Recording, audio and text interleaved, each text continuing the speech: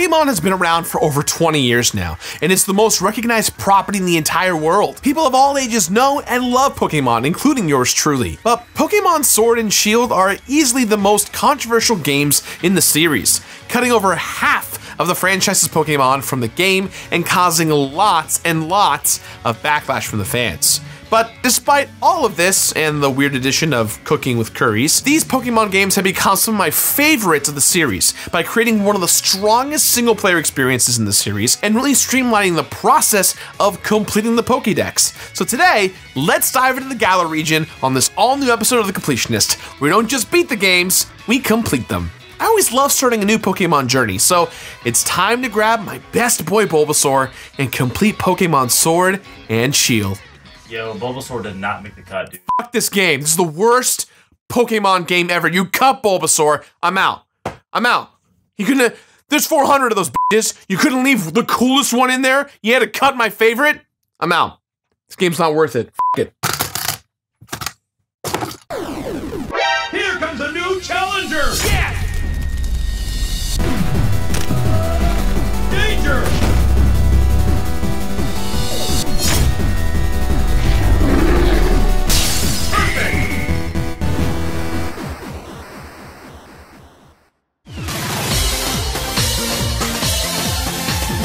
All right, so just about every Pokemon video I have ever done, I've talked about how Pokemon is the number one media franchise in the world. That just means everyone likes it, right? Well, that's not true in 2019. Pokemon Sword and Shield are easily the most controversial games of the year, and for a lot of reasons. The main reason for this was Dexit, a term made by combining Pokedex with Brexit, referring to the fact that for the first time in the history of Pokemon, you cannot possibly obtain every single Pokemon in a new mainline game. Now, this made some fans furious because Game Freak wasn't cutting just a few Pokemon, they were cutting more than half. And while Game Freak offered a few reasons as to why they made the omissions, those excuses didn't matter to a lot of fans. Those fans didn't care about improving animations and balancing competitive gameplay, at least not at the cost of their beloved pocket monsters. Those fans felt that Game Freak might as well just have Thanos all of those Pokemon for good. But what was really fascinating to me was the positive backlash caused by angry Dexiters. Almost immediately, there was a new hashtag trending on Twitter. Thank you, Game Freak.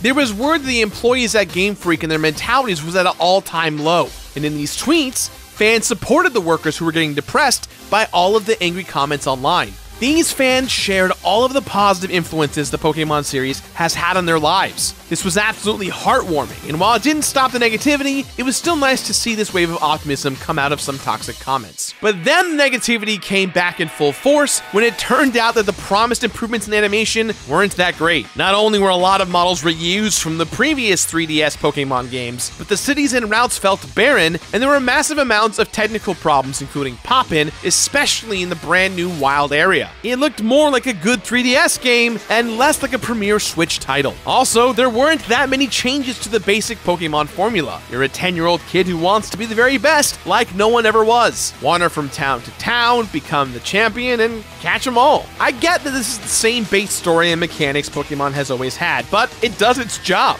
It's like a cheese pizza. It's fine on its own, but you can always add new toppings to it. And when the game finally released, reviews were mixed in a unique way. Critically, this game was received very positively. It averaged an 80% on Metacritic. But the user reviews were drastically different, coming in at about 4.5 out of 10. So where does this leave me in all this? Well, I'm a bit nervous. Not because of the negative comments, but because I am the completionist. It is my job to do everything possible in a video game. And the last time I had to complete a main Pokemon game, Gen 3 titles, it took my friends and I over 500 hours. That is insanity. And now I have to do this by myself for both sword and shield. I don't have that kind of time on my hands to do this alone. If this game is going to keep my interest, catching Pokemon needs to be streamlined and the main story needs to be bigger than ever. Fortunately, neither were an issue.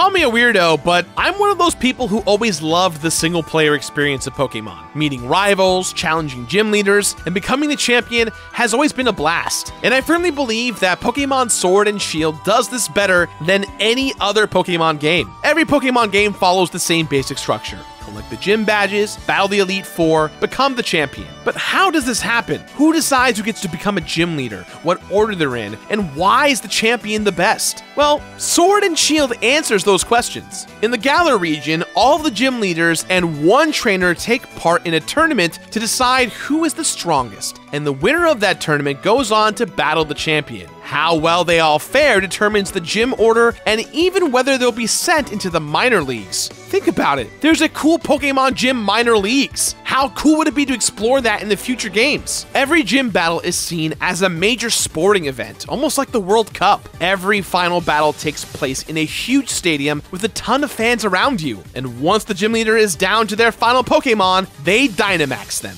turning them into huge, intimidating beasts. Dynamax is a phenomenon that only occurs in the Galar region, replacing Mega Evolutions and Z moves. The Pokemon grow giant, sometimes changing forms, and execute incredibly powerful moves with amazing secondary effects. And you can do this too, causing the fans in the stadium to start chanting and singing like you were playing in the World Cup. Gym battles in Sword and Shield actually make you feel like a star athlete, more than any other sports game this year. Let's compare this to the gym experience from most of the other games. You walk in, battle a few trainers, beat the gym leader, and leave.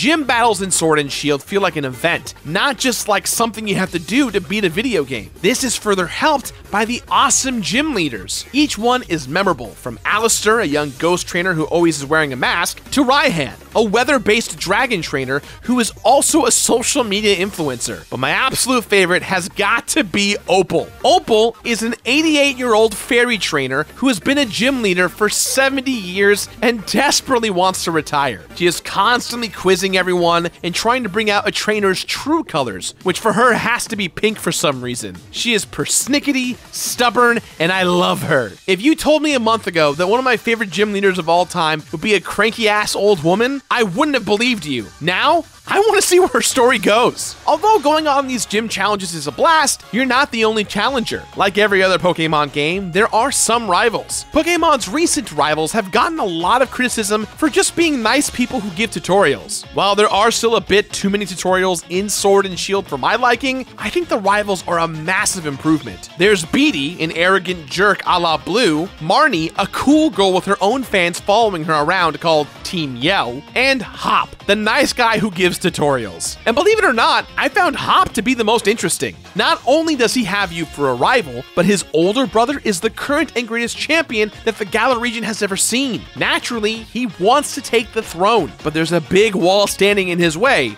you. Normally, when the nice guy gets beaten all the time, they just give an oh darn and say that they're glad that they are your friend. Hop instead gets filled with doubt. Is he really a good trainer? Is he letting his brother down? If he is not the champion, then what will he be? That's pretty introspective for a character in a Pokemon game. And the other two rivals go through similar journeys as well. Of course, this all ends with the champion we mentioned earlier, Leon. There have been a lot of great champions in previous Pokemon games. Steven and Cynthia come to mind. And Leon definitely deserves to be right up there with him. One of my favorite things about him is that this game begins and ends with Leon. The game starts with a cutscene of Leon battling Raihan, followed almost immediately by him giving you and Hop your starters. Normally, players get their starter from the region's professor, but starting with the champion shows how strong you can get. See this guy that everyone loves and is the strongest trainer in the world? You two can become that guy. And that alone is excellent motivation. Even after you beat the game, Leon sticks around. He runs the Battle Tower, a building where you can create competitive teams and test them out in unlimited battles. He creates it with the goal to make Galarian trainers the strongest in the world. Alright, so while the Battle Tower has been done in the past in most of the Pokemon games, it's a lot simpler here. After every couple of matches you win, you go up in rank.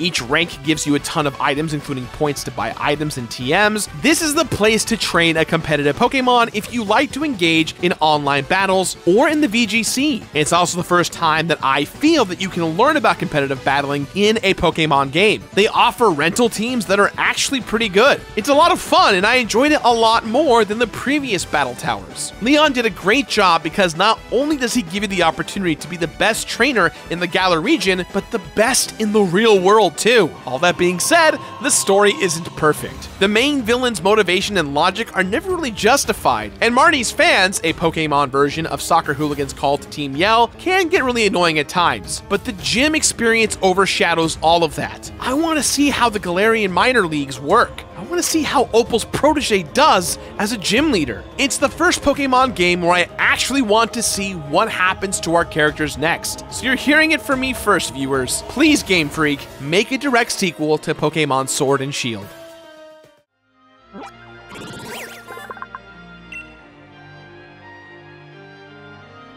Alright, so I've gone on for a while. I have to address Dexit. The culling of 490 Pokemon from the roster was shocking, and I understand why a lot of fans are upset. I lost a ton of my favorite Pokemon from the years. But from a completionist's perspective, I think cutting over half the Pokemon is a godsend. Now, before you all get angry and rush into the comments and call me an idiotic beta Kakuna, hear me out. Yes, it sucks that a ton of popular Pokemon are gone, and I definitely miss them. But you cannot deny that having to catch 890 Pokemon is ridiculous. I was already getting fatigued trying to catch all the Pokemon in Generation 3, and there's only 386 of them. And there are now more than twice that many. If Gen 3 took over 500 man hours to complete, then having to catch all the Pokemon now could theoretically have taken more than a thousand hours of playtime. I don't have that kind of time. Cutting it down to 400 is still a daunting task, but it's much more achievable. And to make it even more comfortable,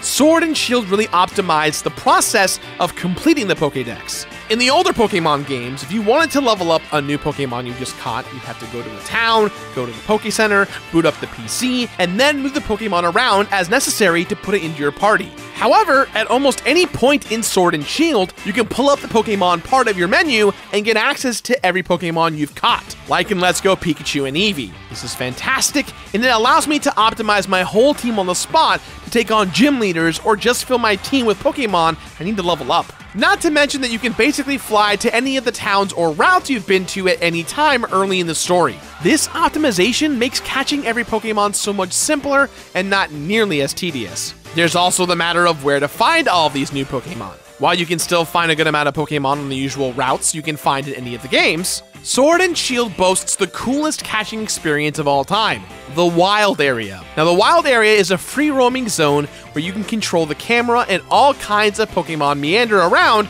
waiting to be caught. All you have to do is walk up to them and a battle begins. This is an experience Pokemon fans have been dreaming of since Red and Blue first came out. A game where you can just wander around, control the camera, and catch Pokemon. And the variety of Pokemon is staggering. They range from little low level pals to gargantuan level 60 beasts. I literally got stuck here for hours just running around and trying to catch every Pokemon I could. I forgot to progress the story and I didn't even have a single gym badge yet, which left things a bit restricted. The level of Pokemon you can catch is dependent on how many gym badges you have. The more badges you have, the stronger Pokemon you can catch. And yes, this does make sense from a balance perspective, I did find it a little frustrating. Let me catch the Pokemon that are too strong to, and make them impossible to handle. You know, like in the previous games. This was a little frustrating, but it made more sense you catch a level 60 Pokemon before the first gym, you freaking earned it. Of course, that's not the only way to catch Pokemon in the wild area. There are also the raid battles. Around the area are dens with a beacon of light coming out of them.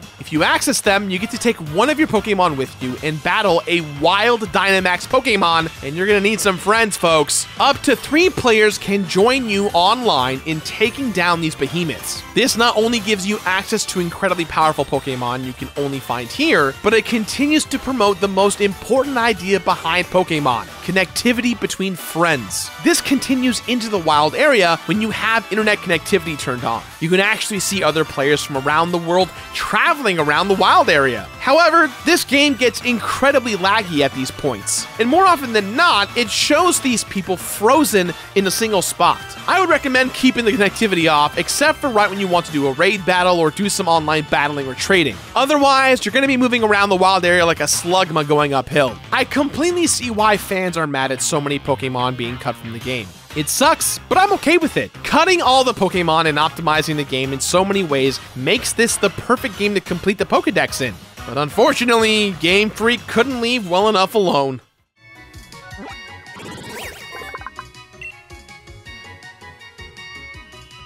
Catching all 400 Pokemon was a lot of fun, but you have to fill in all that time with something, and that's where the curries come in. And the curries, in my eyes, completely ruin the entire completion experience. Almost every Pokemon game has had some kind of side thing where you can watch your Pokemon be cute and adorable, like the contests or musicals. That thing in Pokemon Sword and Shield is the camp. In the camp, you can play with your Pokemon, visit other players' Pokemon, and cook curries for your party. This is actually really cute and a lot of fun. Plus, it has some genuine benefits for your Pokemon. It gives them experience, and if you cook the curry well enough, you can completely heal your entire team. And normally, that would be it. It would be a fun bonus thing you can do, and there's no reason to include it as a part of the completion process. But Game Freak had to go ahead and make it more complicated than it needs to be, with an overly laborious collection process and an unneeded set of collectibles. Now, you have to find a ton of different berries and ingredients. Then, based on what ingredients, what kind of berries, and how many berries you use, will get you a different kind of curry.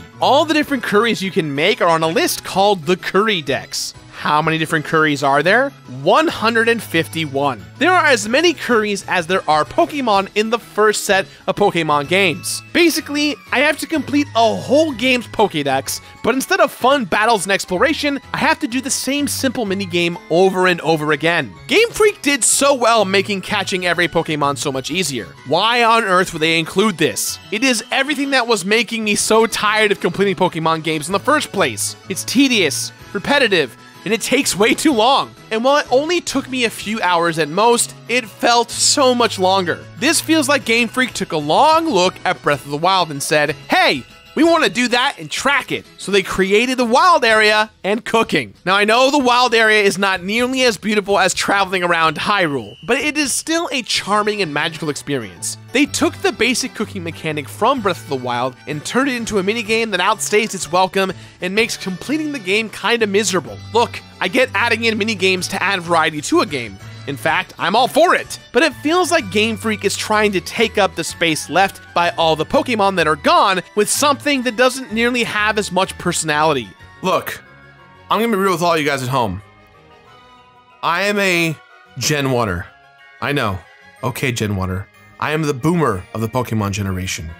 The Gen 1 aspect of my life has been stuck with me, and while I have done Gen 2 and Gen 3 and soon to be Gen 4, and I've done Gen 1 three times now with Fire Red, Leaf Green, and Pokemon Let's Go Eevee Pikachu. This is my first new, true new Pokemon game in years. And I have to say, I'm obsessed in a very unhealthy way. I love doing the raid battles. I love getting all the Gigantamax Pokemon. I love hunting for shinies. I can't stop hunting for shinies. I have one of the weirdest team comps out there that no one gives a shit about but me, okay? I have been so invested in this stupid fucking game that I have my whole team is six shinies. I have six shinies up in this. Six of them. Aegislash, Rapidash, Ludicolo, Darmanitan, Dragapult, and Bewear. It's weird, I know, but I became obsessed. All these bitches, six IVs. All their EVs, appropriate to their nature. I have gone above and beyond. I'm obsessed. I'm obsessed. I have been in the Patreon discords talking to my fans. They've all been helping me hunt these motherfuckers down. It's weird. It's weird. Think about what I've said so far, okay? I have a lot of complaints about the visuals. I have a lot of complaints about the cutting of the Pokemon. And yet, it's one of the most fun games I've played this year. And I can't put it down. To the point where I have hunted over 4,000 times to get an egg with six IVs, the right natures, the right hidden moves, the perfect EVs, and all the right holding items. Right here. Somebody help me!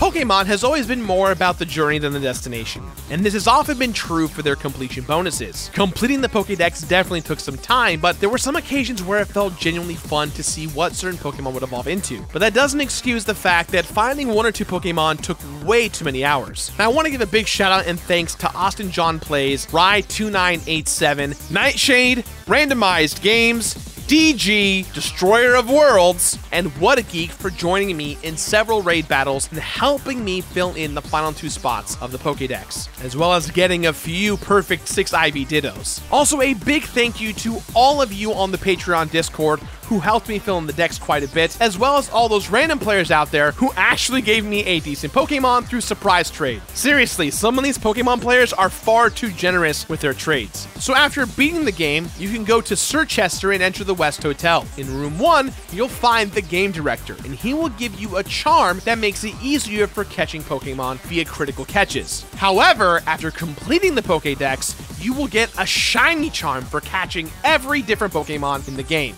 The shiny charm greatly increases your chances of catching a shiny Pokemon, an incredibly rare version of a Pokemon that has different color schemes. But that's not all. For completing your Curry Dex, head to the Hammerlocke Hills in the wild area and meet with the camping guru. He will give you the gold cooking tools. This is useless because I do not want to cook curry anymore after this. This chef has been chopped. If Game Freak had left out cooking all the curries, I'd be riding sky high right now. Pokemon Sword and Shield is not perfect, but is a lot of fun, but cooking all the curries really ruined the completion process for me, and no pun intended, left a bad taste in my mouth. I talked about this earlier, but I am a little bummed with the overall presentation of Sword and Shield. Don't get me wrong, I love the Galar region, I love the setting, I love the music, I love the presentation of the entire game. However, I truly believe that this game was not ready for the Nintendo Switch hardware. It seemed like it was designed for the Nintendo 3DS and then roughly brought over to the Switch. If this is our first real Pokemon game on the Nintendo Switch, then I do hope that Game Freak puts more time in to make sure that it runs properly. But despite these hiccups, I had a fantastic time with Pokemon Sword and Shield. When I completed Pokemon Sword and Shield, there were one time I was overwhelmed by defeat because I didn't know what the game said after you lost a battle, so I had to find out. 44 ranks earned in the Battle Tower. This was between two playstyles across two games, but it never felt tedious. I enjoyed completing it much more than the Battle Frontier in Gen 3. 302 curries cooked, 151 for both games. This is incredibly unnecessary and gets old really quickly. I loved the Pokemon camp, but I hate having to cook all these curries. 400 Pokemon caught. While I miss a lot of the Pokemon drop from Sword and Shield, I am thankful as a completionist that I don't have to catch all 890 Pokemon. I would not be surprised that as more Pokemon services come out, that they retroactively update Pokemon Sword and Shield to feature more and more Pokemon. 305 total hours of playtime between both games. And one long ass in memoriam section that I'll have to watch at the Poke Awards this year. All joking aside, while I'm not personally upset with the cutting of over half the Pokemon for this game as a completionist, I do understand why people are mad.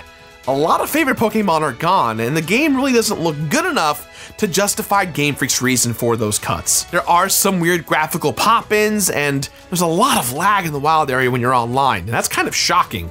Not to mention how unnecessary and tedious cooking all of the curry is. But this game has some of the most memorable gym battles and characters within the Pokemon series, and catching and battling Pokemon is as addicting as ever. I have already sunk so many hours exploring the wild area, doing raid battles, breeding, all kinds of crazy stuff. And despite all the controversy, this game gets one of the most important things right. It's absolutely fun.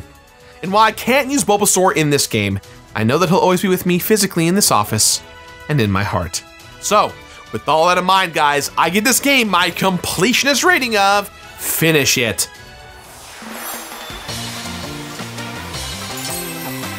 Finish it! That's all time for today, guys. So please, as always, let me know what you thought about today's episode somewhere on the internet. Guys, we're at the end of the year. This is going to be our last completionist, new completionist episode in 2019. Thank you all for all your hard work. We didn't win a streamy. We got second place in the Mario Maker 2 Invitational. We were in a Sonic commercial, but you know what? All that is sick. I'm so happy to be here doing what I'm doing. Thank you all so much for the support. 2020 is going to be more insane bigger goals, bigger achievements, and more importantly, more of you to join us along, along the way on this journey. I can talk today, I swear. If you're new to the show, do me a favor, check us out. The subscribe button if you'd like. Leave a comment down below on what episodes you want to see here in the future of the show. Guys, I've been Jirard the Completionist, and have a great holiday wherever you are in the world. Bye.